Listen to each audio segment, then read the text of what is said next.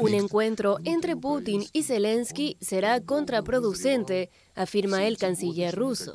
El jefe de la diplomacia de Rusia, Sergei Lavrov, consideró además que el presidente de Ucrania, Volodymyr Zelensky, estaría condicionado a la adopción de las exigencias que Moscú tiene sobre la mesa en las negociaciones.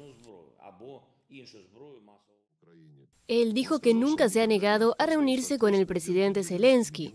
Lo único que considera de fundamental importancia es que estas reuniones estén bien preparadas. El diplomático ruso reafirmó las exigencias que sostiene el Kremlin desde el inicio de la ofensiva contra Kiev el 24 de febrero la protección de la población del Donbass en el este de Ucrania y la desmilitarización y desnazificación del país vecino.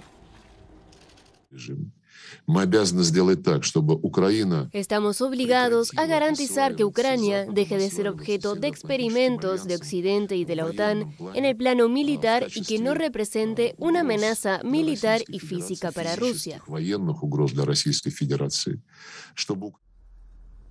Sergei Lavrov además informó el lunes que Moscú estaba preparando un decreto para limitar el acceso a territorio ruso a ciudadanos de países no amigos, agregando que el proyecto prevé toda una serie de restricciones para entrar en Rusia, pero sin precisar qué países serán sancionados.